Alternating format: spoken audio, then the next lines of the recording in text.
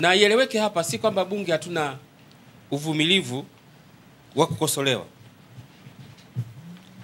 Tunachokataa hapa ni dharau. Kama ni kukosolewa, bunge linakosolewa sana, waandishi wenyewe mnatukosoa kwelikweli kweli kila kukicha, lakini hatugombani, kwa sababu mtu akikosoa anakujenga, anakupa mawazo yake ili uweze kuyafanyia kazi. Bunge la Tanzania ili la kumi na moja la sasa hivi ni bunge lililosheheni wasomi kuliko bunge jingine lolote toka tupate uhuru. Kama jambo hili si kweli, chukueni CV la bunge la miaka ya 60, miaka ya sabini, 80 mpaka leo muone. Watanzania wamekuwa wakichagua watu ambao wanauelewa mkubwa zaidi kwa maana ya kielimu kila uchaguzi unapokuja.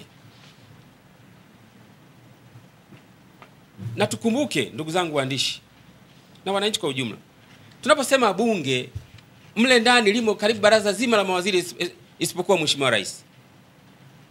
Mawaziri wote wako mle, manaibu wote wako mle, waziri mkuu yuko mle, na wabunge wengine wote wako mle, naibu spika na spika mwenyewe.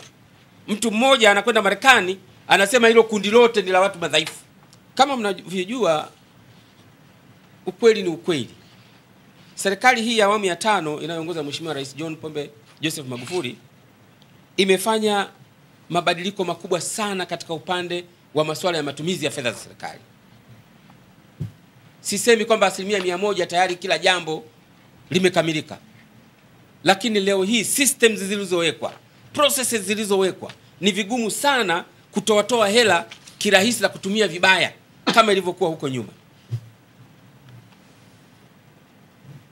Sasa hivi kule Kongo akitaka kulipa pesa yoyote haiwezi kutoka mpaka huku TAMISEMI wawe nao wameangalia na kujiridhisha kusema sasa itoke. Taratibu zimeimarishwa sana. Narudia tena, haimaanishi kwamba mianya yote imezibwa, kwa sababu lazima binadamu wana akili, wanafikiria. Mtu anataka kutumia vibaya, anafikiria namna gani ya kuweza ku, kudefeat system zilizopo, lakini si rahisi hivi sasa kama ilivyokuwa kule nyuma. Leo audit akitaka kukagua Kongwa, anakuja TAMISEMI anapata mavocha yote ya matumizi yote. Anapoenda kule Kongwa, anaenda tu kuverify, tofauti na zamani ambapo ilibidi aende kule ndio aanze kutafuta mafaili, aanze kuingia kwenye vumbi na kuangalia nini kiko wapi. Sasa hivi kila kitu kiko katika teknolojia. Mtu akikusanya pesa tu akatoa ile receipt, ripoti iko TRA kila mahali, iko ripoti. Kwa hiyo fedha zile lazima ziende serikalini. Kama hazikwenda itajulikana, itaonekana. Kwa hiyo juhudi kubwa sana zimefanyika, na yote haya ni kwa ushauri wa bunge hili hili, wala si lingine. Na ushauri mwingine tunapata kwa CAG mwenyewe. Mimi nilidhani katika hatua hii ni hatua angalau ya kupongezana kwamba tumepiga hatua. Anakwenda mtu Marekani anasema wenzie ni dhaifu. Wapo watakaojitokeza wa kudai kuwa ofisi ya CAG ni huru na analindwa na katiba kiajira. Hilo ni kweli, ofisi ya CAG ni huru na analindwa sana kiajira, lakini niwakumbushe watu hao wanaoweza kuwa na malumbano ya kuelekea huko, kwa kwenye katiba yetu hakuna aliye independent bila kuwa na accountability. Hakuna. Wakusema mimi niko huru tu, nasema nachotaka, nafanya anachotaka kwa sababu niko huru. Hapana, lazima kila mmoja yuko accountable mahali fulani. Ndio namna katiba ilivyosukwa. Kwa mfano, yeye CAG, nitatumia maneno ya Kiingereza maana nimejaribu kutafuta tafuta, napata tabu kidogo. CAG ni responsible na accountable to parliament. Narudia, CAG ni responsible and accountable to parliament. Katika nchi za wenzetu huko, CAG ni ofisa mmojawapo wa bunge ili apate ule uhuru ule wa kuweza kufanya kazi katika namna ambayo katika nchi zao wameona hivyo, na ndio maana yeye kazi zake zote mwisho wa siku ripoti analeta hapa. Hivi unakopeleka ripoti, si ndio kuna mabosi wako? Inaelekea CAG wetu hajui anamtumikia nani. Hapa ndio kuna wawakilishi wa wananchi wanaletewa ripoti hizi kwa niaba ya wananchi waliolipa kodi zao. kwa sababu ilikwishasemwa huko nyuma kwa wenzetu, no taxation without representation. Sasa hapa ndio kuna representation ya matumizi ya taxes za watu, alafu wewe una, una, una, anaongea kitu gani bwana? Kwamba CAG ni independent ni kweli, narudia, yaani kwa maneno mengine independence yake yuko huru from the entity that is being audited, sio yuko huru kama anavyodhani. Kama anakukagua wewe wakati huo, yeye yuko independent, wewe huna pre, yani huna mamlaka wa kumuelekeza na kumwamrisha kwamba sijui nini anapokukagua wewe. Kwa hiyo anapoikagua serikali, serikali haiwezi kumbana kwa, kum, kwa kumpa maagizo ya ajabu ajabu na kadhalika, ili asitekeleze wajibu wake. Bunge limetimiza wajibu wake. Achievement za bunge hili tutazitoa hapo mbeleni, ni nyingi sana. Ningesema nichukue muda huu kuanza kuelezea katika muda wa miaka hii mitatu tumefanya mambo gani. Tumefanya mambo mengi. Wako wenye juhudi za kujaribu kuonyesha kwamba bunge hili halina maana, halijafanya. Hiyo ni siasa ya kawaida. Wako watu wako hivyo, wameumbwa hivyo, yani wako watu ha appreciate kazi ya mtu mwingine. Wako watu wa namna hiyo, lakini tumefanya mambo mengi, tumeshauri mabadiliko mengi. Nchi iko mahali pazuri zaidi kuliko tunakotoka. Mchango wa bunge ni mkubwa sana. Tutafika mahali tutatoa ripoti yetu kwa sababu ya muda, lakini pia tukumbuke bunge halina pingu,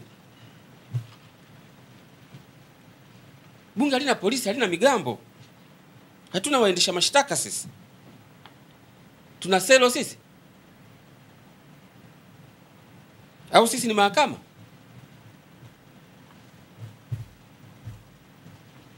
Wala hatuna viboko vya kuchapa watu. Sisi kazi yetu ni kuishauri serikali na kuisimamia, lakini tunashauri muhimili kama sisi ambao lazima tuende kwa kuheshimiana.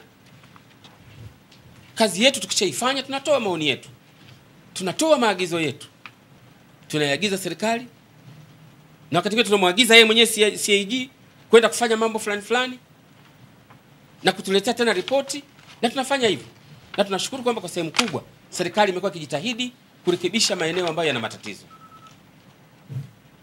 Na leo hii, hebu jiulizeni nyinyi, labda mniambie leo hiyo hiyo ripoti aliyoleta CAG yenye mambo makubwa ya ajabu ipi? Ipi? Ina nini ndani yake? Hebu atoke aseme nini hilo alilosema kubwa ambalo wanaliona bunge dhaifu haliwezi kusimamia jambo gani? Sweeping statements, profesa. Hapana, twendi hivyo, ni kudhalilisha tu nchi zetu sisi wenyewe, jambo ambalo si zuri hata kidogo, na inasikitisha sana kwamba ni vigumu sana kufanya kazi na mtu ambaye anakuona wewe kama taasisi ni dhaifu. Sasa unafanyaje naye kazi mtu wa aina hiyo? Pamoja na kwamba analindwa na katiba, namshauri sana CAG ajitathmini upya. Hatutavumilia hata dakika moja kudharauliwa na mtu yoyote, na tunakasirika zaidi dharau hizo ukizifanya nje ya nchi.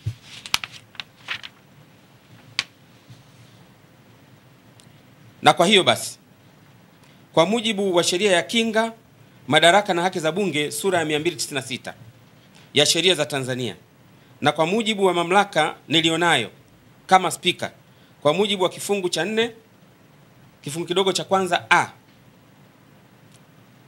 cha nyongeza ya nane ya kanuni za kudumu za bunge toleo la Januari 2016, suala hili nalipeleka katika kamati ya haki, maadili na madaraka ya bunge ili waweze kulifanyia kazi na kunishauri, na kwa maana hiyo kulishauri bunge.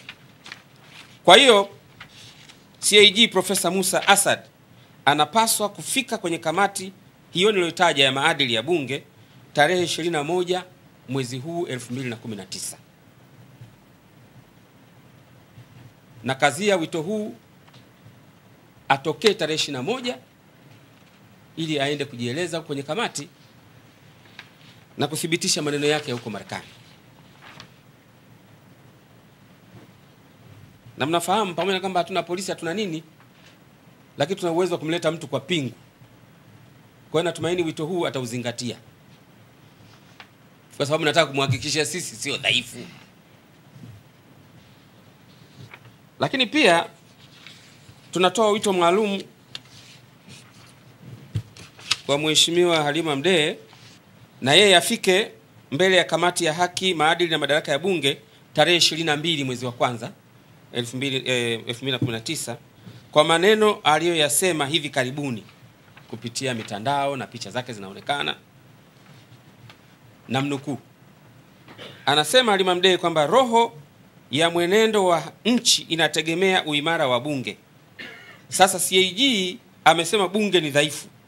Ni kweli, na mimi kama mbunge wa vipindi vitatu nathibitisha hilo, na yeye naye aje naye, baada ya kusemea vichochoroni huko, aje aseme. Na ikumbukwe huyu tumeshampa adhabu kadhaa. Huko nyuma kwa kutokuweza kutawala ulimi wake na mdomo wake, lakini bado anajiingiza katika matatizo kila wakati. Nimhakikishie hatujachoka. Sisi, si dhaifu kama anavyofikiri, na yeye atokee kwenye kamati, atasikilizwa, atapewa haki yake ya kusikilizwa na tutapata ushauri kutoka huko.